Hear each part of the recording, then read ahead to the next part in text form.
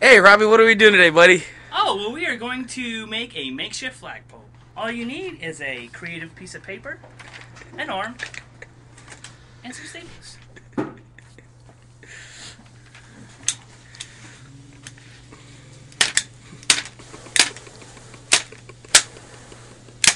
Oh, shit, let go.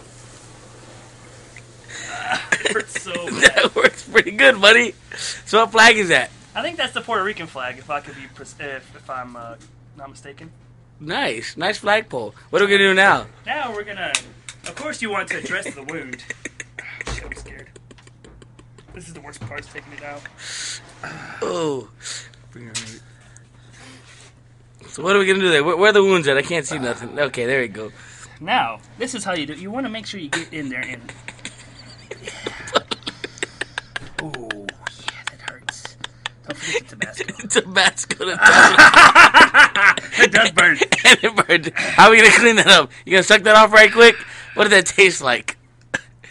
Mm, Is it good? no. Vinegar is very strong. Good night. And that's what we got our makeshift flagpole. Thanks, thanks, Robby. Anytime.